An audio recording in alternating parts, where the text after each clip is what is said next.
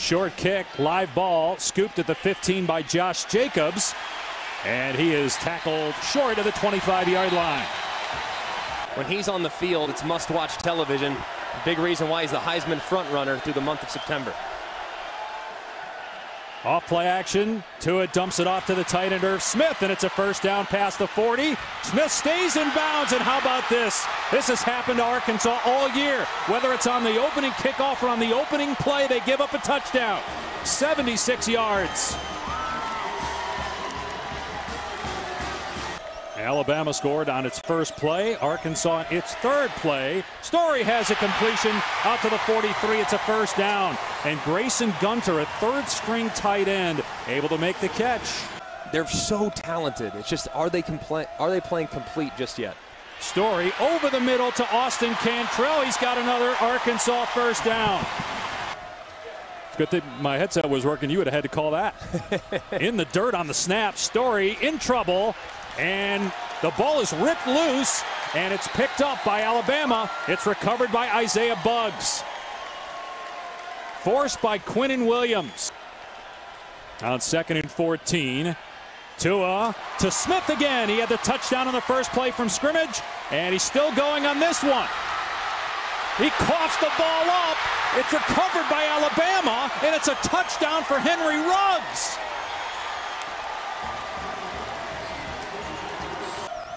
Trying to turn this program around. They've lost seven straight games against FBS opponents and a broken play here on the first play of this drive. Dylan Moses eats alive Ty Storey. We all know that Jalen Hurts is a tremendous athlete, but he can improve as a passer and actually has this year in a lot of ways. Hurts going to run it again. A huge lane. Hurts past midfield and finally run out of play at the 44 yard line. 27 yard run. It's nice to see him get involved early while the game is still yet to be decided. Damien Harris, another huge gap, and he's to the 31, a 13 yard pickup. I, I really, I mean this. I would take him in the first round of the NFL draft. He's that explosive, and he really translates to today's NFL with the way he can catch it. Tagovailoa off play action goes back to Harris now, who breaks a tackle and finally pushed out of play, but after another first down and a gain of 13 to the 18 yard line. Josh Jacobs in the backfield on second and 10 now. Play fake for Tua, rolling out, and Tua completes it to Jeudy inside the five. It's another Alabama first down. Jerry Jeudy, a team high 20 catches. They're a two to four run uh, play team, and that's it. Jacobs again into the end zone, touchdown Alabama, and it's 20 0 already. Raekwon Davis was expected to be the bell cow up front. He hasn't really been himself. The first five games of the year, he's been a little up and down. I know they want to see his production ramp up. Storey lobs it downfield for Boyd. And Boyd lowers the shoulder on Deionte Thompson. Has Ty Storey been dynamic enough at quarterback to hold it long term? Probably not, but He's the best option they have at this point. O'Grady on the tight end screen. It's a first down inside the Bama 40. This is the second time that Storey has moved the team into Alabama territory. Is it arrogance or them just saying we got to try because the, it's not like the perimeter's easy either. Here's a strike by Storey, a first down. Deon Stewart inside the 25. It's a 16-yard gain. Again, that negative play on first downs killed Arkansas all season. Storey off play action. He's got O'Grady inside the 10. It's first and goal for Arkansas. Rubs if you're an offensive guy, picks if you're a defensive guy. Storey, end zone again, and this time he hits his tight end O'Grady. Touchdown, Razorbacks. And one of the best in the country on third down as well. Tua's going to throw it. Now flushed out of the pocket trying to get to the first down marker. He's pushed out. It's going to be close. They'll mark him short. At the 43, De'Jon Harris chasing down Tua Tagovailoa.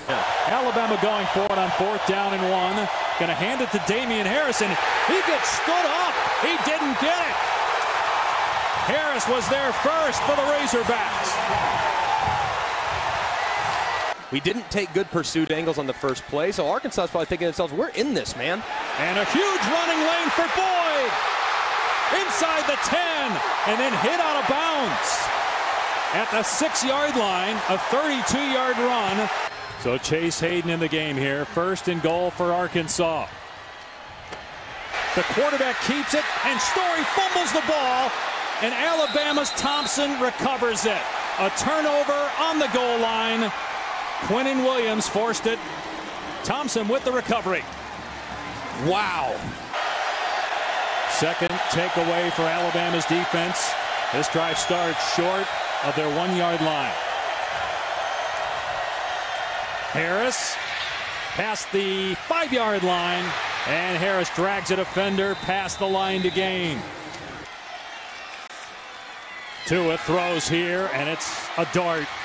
Ruggs on the catch, out to the 33, picking up 21 yards. So in two plays, they move it out to the 33 yard line. Keep an eye on number eight, Josh Jacobs, who's working out here to the right hand side. Yep, leaving the backfield. Tagovailoa wide open is Jeudy into Arkansas territory. They can't get him down. They finally blow it dead. 18 yard pickup. They usually try to take the top off the defense and run one of these speedy wide receivers way downfield. And here's Najee Harris. Falls forward to the 42 yard line. It's a gain of seven. Harris, who's from the Bay Area. And the ball came out. And it was recovered by Arkansas. Coming out of there with it was Ramirez. That's what they have to determine. The ball is the ball is wiggling. It looks like it's moving before Najee Harris's backside hits the turf. So the call on the field would likely stand. After video review, the runner's right elbow was on the ground prior to the ball coming out. It'll be second down. And so no targeting. They were looking. Tagovailoa slides up, goes deep for Jeudy, on the money. Touchdown, Alabama. What a throw by Tua. Perfectly tossed to Jeudy for his seventh touchdown. Uh, Jonah Williams a little too strong on the high five yeah. after the celebration. Who knows? Or the flicking of the wrist on the touchdown pass. I mean, other than that, didn't see much. What a year he's had, though, Tagovailoa. Wide open out of the backfield is Hayden for an Arkansas first down. As the Razorbacks continue to get some chunk plays on this Alabama defense. Guys, is this a reason? Is this Alabama having weaknesses on defense or just complacency because you're playing an Arkansas team that's one and four? Answer that after this play. Storey going deep, and it's pulled in at the 20-yard line by Deon Stewart against Trevon Diggs for 37 yards. But for the most part, I mean, it's just Arkansas making a couple key plays. Storey's thrown for 170 yards in this game as, uh, boy, boy, it was kind of an awkward uh, play there, and a penalty flag is down. Offside in the neutral zone at the snap, number 14. His penalty is declined. Personal foul, grasping the face mask. Number 99 of the offense. Give Chad Morris credit for making the in-game change. Here he is again. Oh, it was a jump pass version, and it's a dart for a touchdown to O'Grady.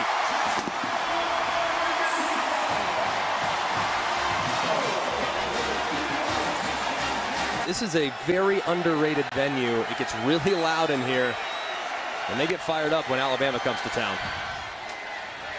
Harris, good balance, puts his hand down and gets out to the 33-yard line. Let's uh, listen in to what Nick Saban had to say this week about the Alabama student section. Uh, and me personally, I think it ought to be first come, first serve. And if they don't want to come to the games, they don't have to come. But I'm sure there's enough people around here to like to go to the games and would like for them to come too because they support the players. Harris gets the first down. Guys, is this really about the student section? It's definitely a way to kind of speak to his team through the media. He does it all the time and usually doesn't take the most direct route, but there it was pretty obvious. Oh, my goodness. Damien Harris given a lane between the tackles that he could have driven a bus through, and he's out to the 40 for 18 yards. Let's get it going here. That's what they say before each drive. And you know what's coming off that play action. And Tua going up high to make the catch is the true freshman Jaylen Waddle. First down in the red zone. Adnan, take it away. Sophomore went to the same school in Hawaii as Marcus Mariota. Mariota was a mentor of Tua's. And he throws a strike inside the five to Waddle. It's another Alabama first down.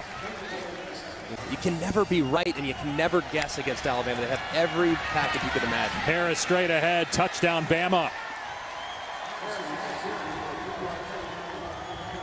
But he did say, yeah, we, we can stop ourselves. Yeah. Well, Nick told us last night he's not real thrilled with his specialists, and Bulovas misses the extra point. He had missed three field goals this year coming in. But they were replacing a lot of key pieces and a lot of veteran leadership on that defensive side, and they've been pretty solid in the first month. Pressure on Storey, and he was trying to throw it to his back. Now look at the head coach, Dan Mullen, man, he has a way about getting his team ready to play in big environments. Tagovailoa off play action. Jeudy wide open trying to outrun the defense. He might do it. Inside the 20 yard line. They won't catch him. Touchdown Tide. 60 yards.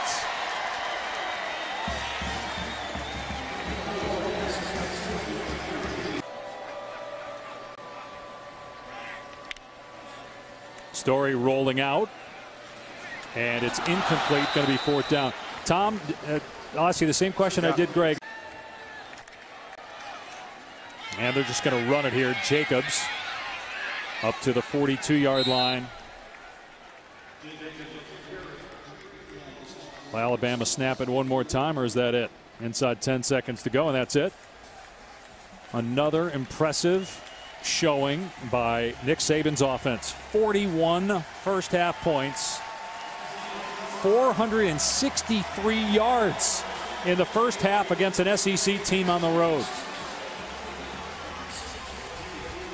And, and get some toughness back into your run game on the ground and push people around. Storey steps up in the pocket, and it's juggled, but caught for a first down. That's a group that needs to continue to improve as the season goes along. Third and seven. Storey in trouble. Gets out of there. And takes a shot from Carter, but looks like he got a first down. There is a flag down. And Arkansas will go for it down 41 14. I don't blame them. They need to play conservative at this point. And Storey's going to pitch it to Boyd, and he will not get it. Dropped in the backfield by Isaiah Buggs. As Alabama won Nick Saban's fifth national championship at Alabama, second in the last three years. Here's Damien Harris breaking free. Finally brought down at the 26 yard line. If there's a receiver open, he almost always finds him. Just doesn't pass up completions. He's been so good this year. Another huge hole for Damien Harris. And a fist fight with the DBs at the 10, and Harris wins that one down to the 7, first and goal. No, it's interesting, guys. If you look at Tua Tagovailoa, I gotta say, Mariota was special, but Tua appears to be the same. Harris on third down and did not get in. Three men in the backfield. Fourth if you include Tua.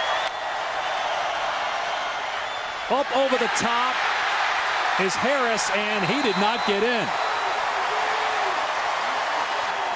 The nose of the football to break the plane. This play is now under video It review. looks like it did Oh, yeah. from that first angle. After video review, the ball did break. Yeah, there you the, go. The goal line plane. It is a touchdown. Seemed pretty obvious. So Damien Harris into the end zone for the second time today. Major Ogilvie, You read about this team, right? I, I was not alive. but, but yes, of course, if you go to Alabama, you must know the history. Juggled by O'Grady. Then he hangs on. There's a flag in the backfield. Personal foul, roughing the passer. Number 92 of the defense.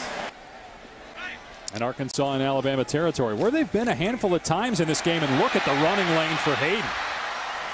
Whacked at the 33, but after a 17 yard run, they've been able to move the ball. And breaks on it. So explosive at safety. Off play action.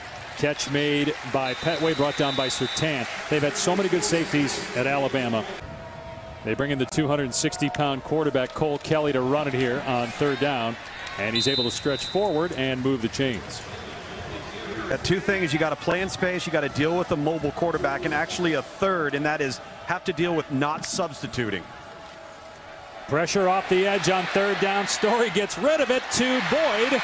And look at Boyd fumble the ball. It's recovered by Froholdt, but uh, not afraid of contact there, Boyd. That should have been a, a first down. That's roughing the passer. I know it's not a traditional throwing posture, but he's releasing the football and you hit him in the face.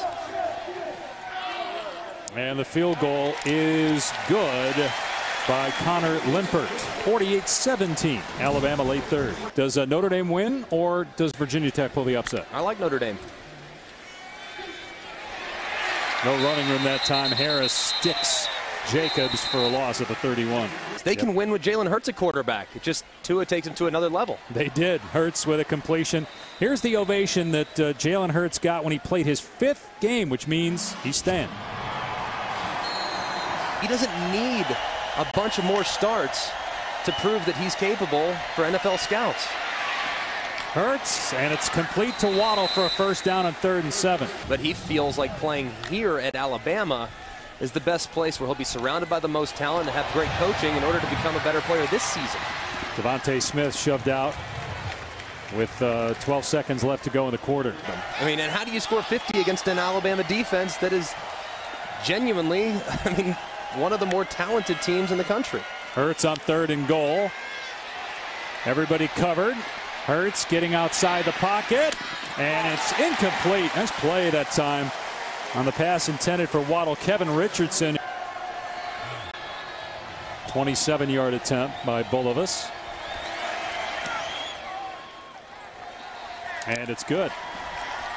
51 17. But for the most part, another pretty solid performance against an offense that has a nice plan for him. Rakeem Boyd, who's looked really good running the ball. Gain of nine. The kicking game has not been what they wanted it to be. They've been susceptible to big plays because they've struggled to tackle in space with some of their youth in the secondary. And, and that's part of growing up in the secondary, learning how to break down. And I'm not real confident in Missouri's defense being able to hold these receivers and Tua Tagovailoa in check. So things are looking very bright for Bama. Here's an interception by Shyheim Carter trying to run it back. And he will for the fourth defensive touchdown for the Tide in 2018.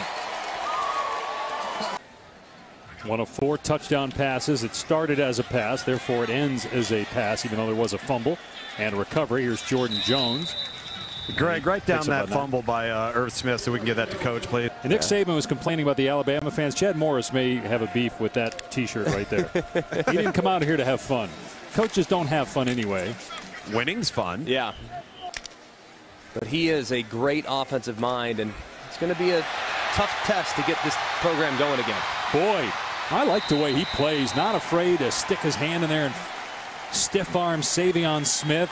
Notre Dame, Virginia Tech, our ABC prime game. We got Kentucky on the road at Texas A&M. Kentucky ranked higher than Michigan in football. As a story runs out of bounds after getting the first down. So I know Penn State lost last week, but they had every chance to win it. So yeah, there's a lot still left on the vine for Michigan. Storey on the rollout. Nice throw. Touchdown catch.